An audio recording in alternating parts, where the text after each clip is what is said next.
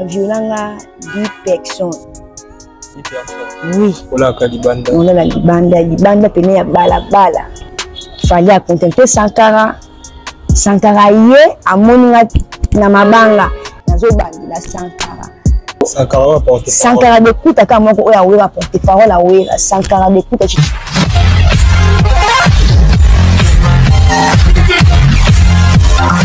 élégance info tv balobi na élégance info tv nyonso bokoluka eza na kati ya élégance info tv gag filme match information nyonso ya rdc congo tolanda yango na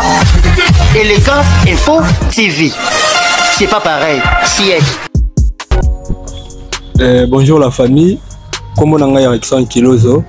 ndeko na biso ya mwasi akobetela biso lisolo ya vi na ye atake anemique sai parole mpe bakobetela biso histoire ya vi na ye comment ça se passe nde nini aevoluaka na vie oyo azomene Nikokozwa parole. Kombo na nani? Bon, kombo na nga Moseka Charlin. Na pesi na bato nyonso tu bakolanda nga bonjour. Naza moko naza anemique, nazala na centre mabanga. Bon, nasepasaka na vie na nga ya anemique. naza mwana nabotami nga mona libota papa na mama na ngai bazalaki na bomoi nazalaki bien mais kokola te une année je crois bakufaki na accident natikala nga moko mpo nabotama mpe nga moko famille ya papa na ya mama batansi bamama kulutu bamama leki bacousin ya mama na ya bapartene ya kote ya papa moto akozwa nga vraiment etake ndeti mwana ya ndeko na bango ya mwasi benge ndeko ya bango ya mobali azalaki te parceke bayebi naza moto ya maladi na vie nanga ntango mosusu na ovance te nde banemiki balobaki banemiki bakufaka bakolaka te babalaka te babotaka te basalaka eloko te bon nazalaki na vraiment ignore baignoraki nga na bafaçon tout bafaçon tout ndenge nalobi mais dieu merci nayaki kokutana na kotamboatambo na mwana na botami na pascal aveni bibwa numero 13 kotambola tambola ye kosalaki nakutani na famille moko boye mama na bango azwaki nga azala na bitabe na sans fille nde akomaki kovandisa nga na ndako na ye mais un moment donné yaki kosala ke aoteka makala na bitabe aomemaka mpe nga nde yakoloba ke amona motuka moko ya ofalini ezoleka abeleli yango eye moi nakomaki deja na 10 ans donc de une année à 10 ans kuta mama wana donc famille eboyi nga na une année nakomi otelengana mama nazwi nga na une année ti 10 ans nde yaya komona ofelina wana batika ye nga bamatisi nga na motuka ofelina yango nkombo na yango orpère orpère eza ya basango ya svd fondateur ya eloko wana ofelina nkombo na ye père frank moto ya koremplace ntango mpe frank akufaki nkombo ne père xibi e azwaki ngai vraiment leki mwana na kati ya centre parce que bango basango babotana na bango te bon alingaki nga koya makasi bato babokolai nga ezalaki na ofele bandaki na kauka toye irebu irebu toye na ye yauma yauma naye kende bumbu nakomaki kosala mosala maboko esthétique ya kosala ke batuni na soki bakozongisa nga na famille bon vu que na nazalaki mwana moke nayebaki makambo famille yango koloba vraiment te mais mama oyo azwaka nga koma ayebanaka na libota na nga nabetelanga mwa histoire mais comme nayaki mpe nanu vraiment moke nalandaka yango te nazongaki na famille centre bazongisaki ngai nakomi na 18 ans mpo nayeba nga moko ke na conscience naza anémique ebandeli nga na 18 na nde kosokola na mbula nauta ewenzi nazozonga mbula ebeti nakoma yoka mikuwa pasi nake eyetula moto ese grave bon à moment donné famille ekitaki nango mpe nga te nayo nguluma na mabele bato bayebi nga na famille na quartier bazwaki nga bafe na ngai na dispensaire mais na dispensaire wana ntan bamoni ke naza anémique basali ngai transfert na mabanga ere naye koyeba mabanga nde yango wana mais na ofemina oyo nazalaki na orpel bandoi na ngai na basoin na saint joseph emona bondeko maintenant baye kozwa contrat na mabanga baye koyebanga mpe na mabanga mais nayebaki vraiment mabanga mpena nzela bien te parce que na centre wana or que bando ya na mutuka kotambola vraimen makolo ezalaki te donc bapesaki biso mpona éducation donc naza mwana oyo nakoli na éducation or père éduqué nga vraiment bien e eh, eyaki kosala ntango nazongaki famille bandeli nazo nabelaki bato bazwi nga bayozongisa nga na mabanga na komona traitement ya mabanga mais traitement na ngai esepasaka koma donc soki nabeli ba docteur ba infirmier ba technicien na labo ba na réception babimisela nga fiche ofele alors ntango mosusu soki biloko mosusu ezangi bakei baza na yango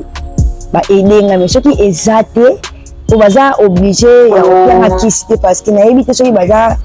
moto moko ayaka na biloko ya ofeli me nayebi ke badon eyaka me soki eye soki ezali bakopesanga me soki mpe eza te nga moko na place na nga nayekoka douleur na nga na obima naye na libanda na baporte ya ndako je te dis franchement devant dieu lelo eza dimanche nabima na balabala na bandi osenga na porte mapangu moko moko bon esalaka nga mpasi parceke naza mwana mwasi oyo kosenga wana nayaki kokutana na basoda basoda oyo baviola ngai na banda kotambola na beki te natambola na beki te natambola na beki te nazalaki na ngai anémique me naotambola bien ndenge bino nyonso botambolaka malgre bapasi na ngai ya malade me nanda otambola bien basoda bayaki kokutana na ngai na butu bakangaka nga bamatisi nga na jeep il paraît que nde na bene bona aza anémique na question bautoluka mbongo bakisi nayebiki baketikana na mabanga oyo badevie nzela bake kotika ngai ti na pire na pire wana kota payebi mpe petalanga na pire alors wana moma wana ezalaki nanu zamba batongaki na bakiti wana bokomona te baya na liboso ya prince batonga yango nanu te tozalaka bafille misato bagarçon 5 bake na bagarçon na kasho biso basi totikali wana baviolanga 10 personnes oui na di personne na telemaka te vraiment ça fait mal ça fait mal nalela trop oyo bayebi histoire na nga nalelaka mingi me alobaki na ozala moko ya na kosala effort malgré mpasi na nga ntango mosusu bomona naolela te parce que ba conseil naza anémique naza malade na na hôpital problème oyo naza nango na na minute oyo esenga te na tia ba souci nakomi na koyema colonne à partir ya violet nakomi na problème ya bassin à partir ya violet nakomi na problème ya ange à partir ya oviole na ekoma na problème ya tete fémorale ya bamaintien bayebi makambo na oloba parce que bango baza bacor médical donc nyonso wana nga innocent pauvre jeune fille innocent oyo nayebi maladi kutu oyo kote wuta te baparent na nga bazali bayebaki te ke basala baelectrophorese naza victime na yango mais victime esuki wana te naye kokoma victime ya ba violeur oyo ba viola nga bapesa nga mpasi na viole wana naye kotikala na zema bana mapasa nazima bana mapasa na sufri na zemi yango olala libanda mbule ebeta nyonso elanga ekoya naolalaka na balabala nalanda kilo te nazwa ni tonga moko yaki osala lejour oyo ngai fe nabota nakota na mabanga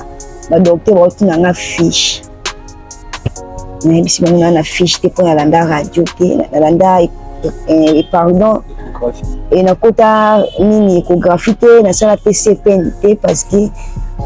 naza na mbongo wana te mpo fai nasenga sikoyo nazeli na osenga nini okeloba nini na baporte ya ndako ya bato baloba yango tosala buzoba na yo na mibali na yo oyebi bacongolais nde bazala na bacomportement mpo mi naza boye nazalaka bahumiliation chaque jour basopelaka nga bamai babokelaka nga basomi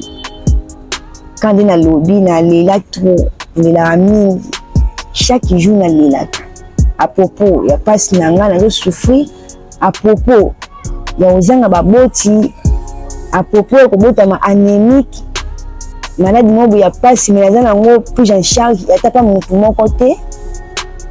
nono osufri nango nga moko obeli fosenga mbongo ya bakisi mbongo ya matela na babalabala sikoyo e hey, mokolo oyo ekozala ke nga nabeli ya makasi na otambola te nde nauti obela bo bato baza pembeni na nga te seke naokufa naokufa mpena parce que naza na partenaire moko te oyo atindelaka nga mbongo bien oyo ayedaka nga bon natiki wana papa journaliste parce que aza na baquestion mosusu oyo ifale apose ngai en fait si je comprends bien ti lelo ozolala kaka libanda oui tilo na olala libanda olaka libanda olala libanda libanda pene ya balabala embula ebeti na poli elanga ezaza kaka wana obeli okesenga na balabala babwakelaka nga basoi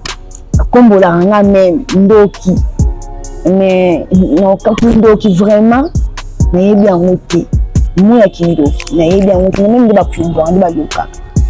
eloko nga nayebi kaka nzoto nga nayebi eza nde nayoka kokuwa na nga mpasi anémique apart anémique nayebi vraiment eloko mosusu ya mabe te nayibaka te naza mwana moko naza na baéducation oyo nga naza na hors père yango na marchaka na yango ntango mosusu tileli naolaka libanda naosufri kaka na balabala tileli oyo toyebisa ngai oza anémique sikoyo soin na ozwa yango ndenge nini soin na yo ozwa yango nde nini soit eh. mabanga nde balandelaka soin na yo okoma olangi nayeba yango soin na nga vraiment nazwaka bato bolanda nga botuna meye aza anemi kai na moto ede te koma akoli koma aza mpe kaka ti lelo bien ya liboso par grâce de dieu mpo na nzambe mpo na ngai amoseka charlene sa nzambe vraiment non naozala te naozala te naza moto nakufa déjà naozala te parce que basoi na biso baanemique ekutaka vraiment beaucoup d'argent mbongo ebele kobanda nano na fiche na ozwa yango wapi ntango nayoka daa mikuwa mpasi makila esili mbongo ya fiche na ozwa wapi mabanga edanga ntango mosusu na fiche mabanga edanga ntango mosusu na baexamen mais oyo eza ke fo ofutela mbongo wana ayer na okende libanda nde bakomaka nasengi nake na balabala ta mosusu nasali radio nasali radio baexame moko boye oyo ezalaki makasi makasi mabanga basalaka te nasengi na balabala mbongo wana nake basali nga ta mosusu baexame wana mais oyo ezaki mabanga ifale aede nga soki nabeli vraiment baage na biso bamedecin directeur na biso bainfirmier badocteur baedaka nakoki kobuka lokuta te basungaka nga soki ezali na oyo ezali donc ebengami oyo eza te donc eye te parce que baza nango te eza bongo et puis ça fait combien de temps olalaka libanda et puis ça fait combien de temps ozaka na kati ya souffrance oyo ya maladie na yo oyo bon nga na mingi na na 30 ans bon 30 ans na nga na wumeli vraiment yeba depuis na age ya une année na famille na longwe nakomi telengana moto alokoti nga na journée wana ya butu akenda nga na ndako na ntina 10 ans nazalaka wana naza da anémique me nga mo conscience na nga na oyeba te ke naza anémique nayokaka ba pasi te omona ke nzambe anda obatela ngai na bana mosusu babandaka maladi ya anemi komanifeste na ba age ya ba 6 mois c'est normal libumu evimbi maboko makolo badeforme mama ya mabe me nga vraiment nzambe wana oyo akopesa nga bon mota mosusu ti lelo azogarde nga apesaki nga mpena temps nawumi na mpasi na nga de 30 ans depuis une année ti 30 ans eza souffrance na souffrance naseka ata mokolo moko te donc vie na nga souffrance na souffrance nalelaka nasekaka te ya na eloko ekosekisa nga te mpo nyonso ya ngai eza mabe nolaa libanda mpo nalia mpo nasenga mpo nalata elamba oyo nalati meme mpo bakabela nga mpo nasenga donc naza mwana mawa un jeune fille moko bomalere indigent vraiment nako utilize bakombo nyonso ya pasi naza bongo naza jeune fille ya bonheur te oyo nalobaki naza na bato basungaka nga na jeune fille oyo naa na pasi vraiment kani alobaki na bino motema pasi nakomisa mama ya miso ebele me badokter ntango mosusu baconseil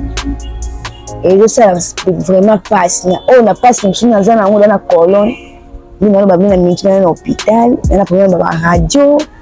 d'échographie, ba problème ba kisi. Nyonso wana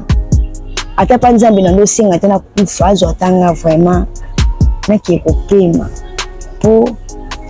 souffrance eleki ezo se grave toujours fale kitaka mizo se grave nawumeli mpena na mpasi nawumeli na mpasi oyo ya anemique na mpasi ya kolala libanda nakosala ata dade inane ti 18 ans wana naleki yango na centre mais centre eza ndako na biso te ezaka na vie ya mpasi 18 ans ti na balabala ti nakomi na 30 ans nyonso donc viaka vie mobimba eleki nga na balabala parce que centre eza ndako oyo babotelinga te epuis elo na ninga nayeba pendant tout ce temps oyo oleki nango bata ya souffrance ya olala libanda osibi ya baka ya viole okutana nao na bato moko te ya mawa oyo basunga yo na baproblème na yo wana baka oza nango wana okutani na motu moko te ke avue en charge aide oyo na mwa piti anya etu merci mpo na question eh, naoloba boye naza na bato baye bayebi ngai na réseau sociaux komona mosika chanel nalobaki eza na journaliste moko moni bibishi mbeki ya rtnc 3 un moment donné ayaka na mabanga ezalaka mwa fete moko boye moto moko bayaki kocreye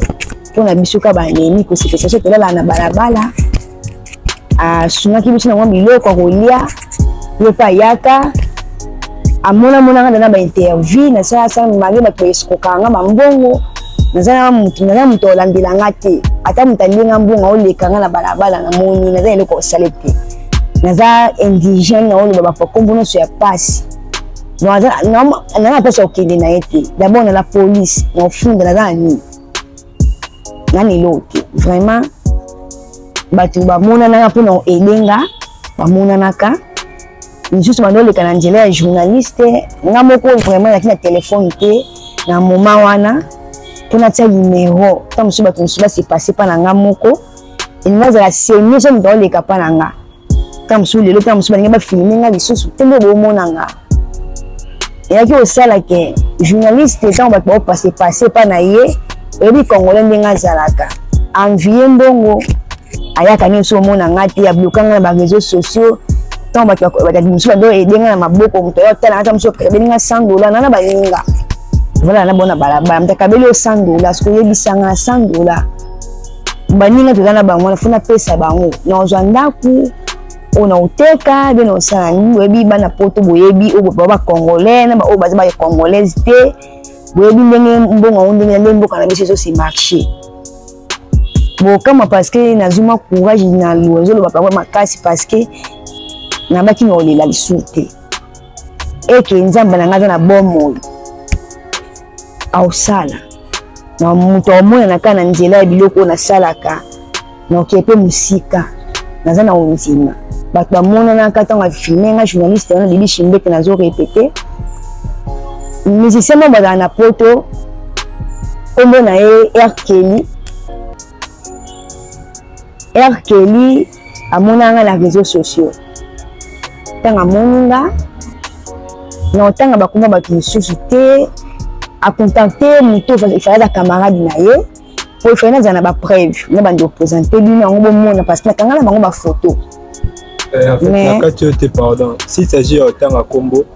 Oui, bon, t'as ma combo. Ça dérange pas. Même ma preuve prochainement.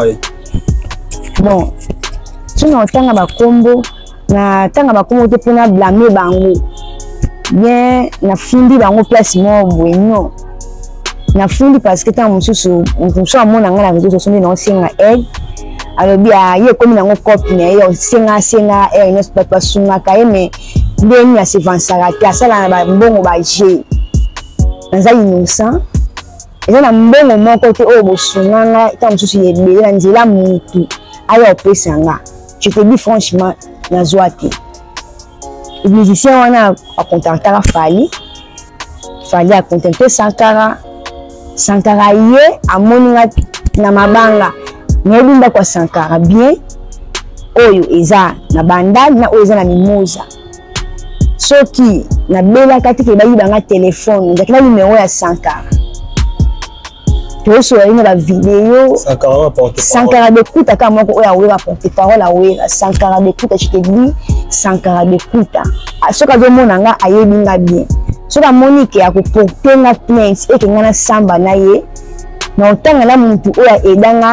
ma ndenge na mona mbongo na maboko na boye te nga moko eyaka na compte ya bango mais ça fait mal parce que naza congolaise ndeko na bango ya mwasi ya leki na bango ya mwasi ya na bango ya mwasi me basali nga mpasi parce que santana amona nga amonaki mobimba na nga nde nazalaki mobimba teke na façon ya eta mosusu nalongwele bilamba non nde naza boye to nakenda mpa sankara ayebi vie na ngai bina betela ye histoire azofilme nga nakende na ndako ya sankara nayebi ndako ya sankara bien nayebi bambwa ya sankara bien naye na eloko moko te oyo mpana nateka ndako ya sankara oyo nga na obosana e, eza te sankara aza na sentinelle te aza na bambwa na ye bete bakengelaka nde ye na mwasi na ye na bandeko ya mwasi na ye na bana oyo ye ayebi oyo nga nakuta aza nde na mwana mosala ya mwasi oyo alambelaka bango me esalanga mpasi sankara batina mbongo mpo madame cloklo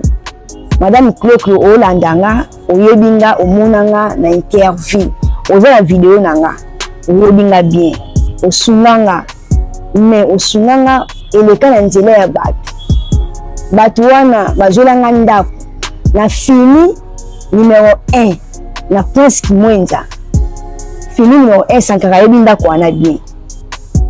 fini numero 1 oyo amonake aza mwana rdc amoni kake koverifie na oyo bamona nga na congo akende koverifie fini numero 1 bakoyi lupango komoni maatimba atekaka mapa soki boke etuna ye moseka baolakisa bino place na nde ovanda nazwa mbongo wana te bafuta ndako ata mokolo moko te yango garanti esila babengana nga ata eloko moko te basombela nga na ndako okiti omesa eloko te nalala na carton na carton je te dis bafuta ndako wana ata mwa moko te nde nabimi nazo mosusu na balabala me bato oyo bande koya ebongi ata mosu na 100 dollar 50 dollar yango te nazwela garanti mbala moko nanda okabola na baninga yango ntango mosusu na sili toujours tileli na balabala parce que eza na mbongo moko te apart oyo basankaka basala bajeune na bango moto mosusu ayaka apesa nga mbongo ya ndako boye aza te apart madame moko aza na suède ye nde moto alingaka ozela ngai ndako ntango amoni sankara asali na ngai interview abiki baede ngai déjà astopaki na ye azwaki na ye lisu ndako te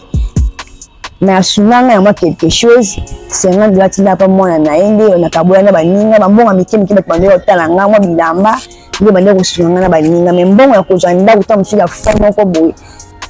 libishi ndeke nde moto abeta bino masolo wana nga moko boye nazwa ta mosusu 300 dollar 500 dollar nazwa te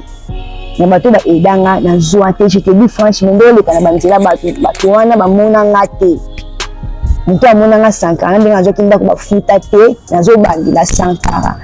azwa ndako afuta ata mwa moko tino nde garanti esili babengana nga na ndako si je comprends bien afutelaka kaka garantie esili apesi kaka garantie memba par mois afuta te so babengi ye ezala kaka ke naza na voyage ata ekomi bimwa nga mono ya ofuta apesa garantie ya bimwa 500 dollars nafuta par mois 50 dollars sankara afuta ndako wana te garantie esili asomba ni éponge ni kiti ni sani alala na carton na kati ya ndako oyo sanke nazwelaki nga oyo madame clo kopesaka mbongo nazwa te nazonga libanda ntango mosusu otindaka mbongo ti lelo nga namona na ngaki nalalaka na balabala nalalaka na balabala ti lelo merci en fait question na ngai so ezali na émission tozosala soki lelo motu moko amonani asunga yo comme priorité olinga basunga wana wana nini comme priorité po moto amona na ede yo bon merci journaliste na oloba soki moto amonani mpo aede nga oyo na oloba liboso nzoka na mposa osunga nga eza nga moto naomona mpasi nga nde moto naosibi ba conséquence nyonso malgré bato bazoya kosunga nga mpo journaliste tosala na interview amona nga na makoki na ye ndambo oyo aza nango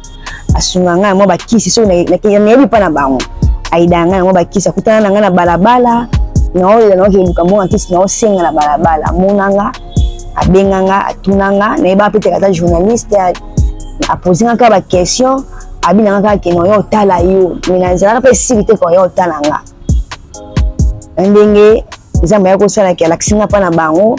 me soki moto amonani ayede nga oyo ya liboso na koloba vraiment moto okozwela nga ndako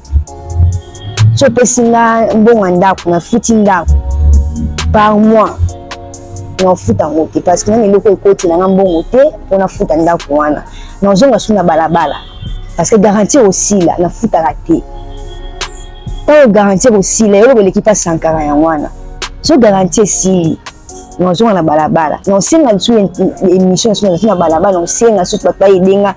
ezala kitoko te namona mwasi kolekaka heure nyonso na bainterview kosenga ba aide eza bien te malgre naye na mpasi nayebi lobi na ngai ndenge kozala te nayebi te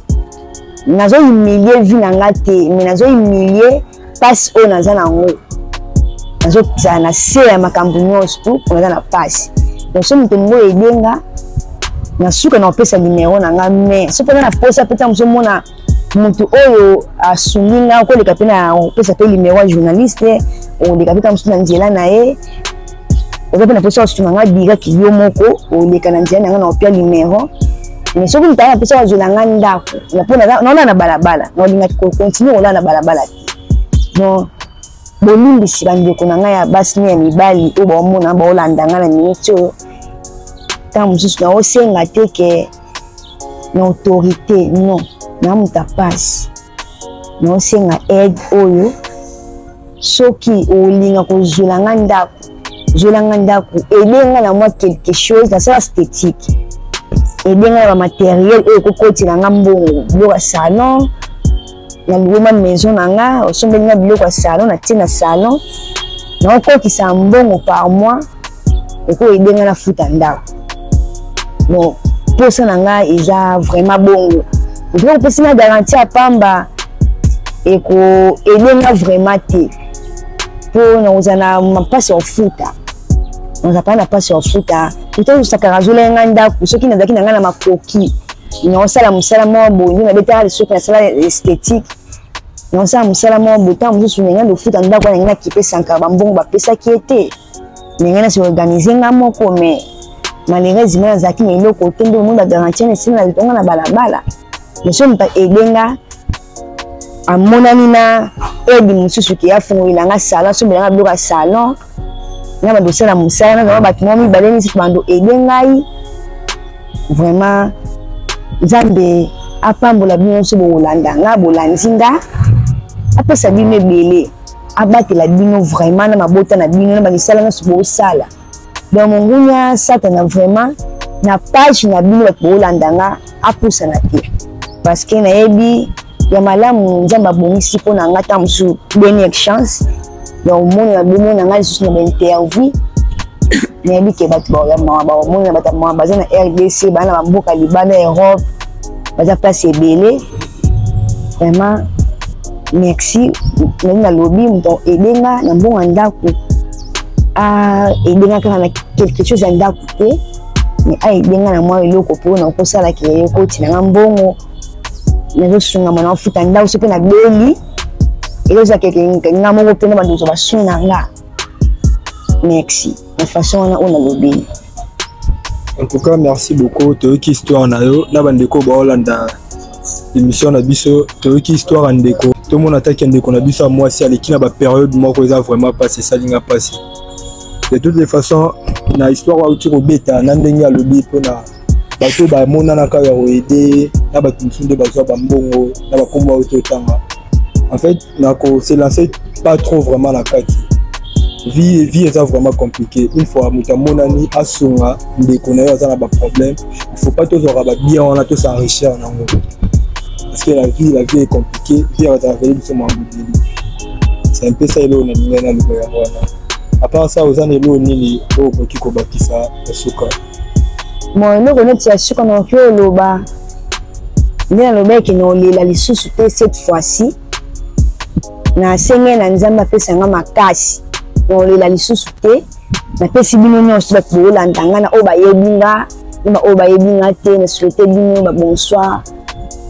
bonne journée nzambe abatela bino na mabota na bino na souhaite mpe bato oyo baeda nga liboso nzambe apambola bino vraiment bomona nga lisusu ntango mosusu nazosenga lisusu bino aide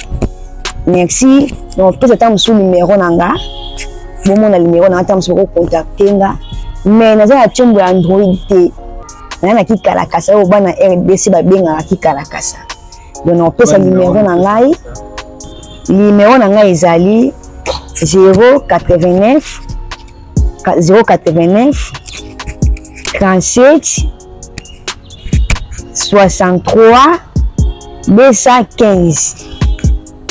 donc numéro na ngai nde nalobi kaka ke ezali 089 37 63 215 donc numéro na ngai nanga soki obengi nga vraiment ozwa nga en direct nazalaka na mabanga nalalaka na balabala kaka place oyo nalalaka mais naza susu liboso ya hôpital te parce que baordre ekomi wana nakola sur place wana ti nakoma otelengana noso olingi ozwa nga malamu noko contacte nga kaka na likalakasa na nga oyo nalobi onde okoretrouve ngai mais journaliste mpe akopesa numero na ye oyo aza na mposa ya kokutana ntango mosusu mpe na nzela na ngai akutana mpo na ngai nzela journaliste aopesa limero napesi bato nyonso tu bayebi nga babai bambote donc nzambe abatela biso nyonso tu merci vraiment en fait merci beaucoup mpona bato nyonso balandi interview ya ngai na ndeko na biso ya mwasi baboso oyo toyebi ya kinshasa oyo basungaka bato baka vraiment ya kosunga yango oyo baka ya kosunga yango ezaki enoke moto asali bakomedi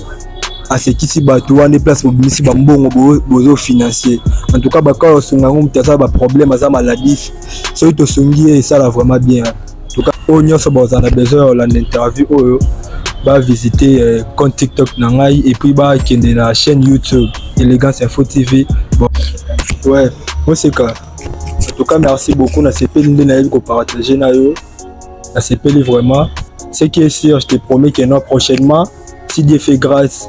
na oya so otala yo tozwa temps ya développer de toutes les façons tu as mon numéro au cas ya problème contacte ngai je ferai de mon mieux so naza na petit rien na oya otala yo po toyeba odévelopper en tout cas merci beaucoup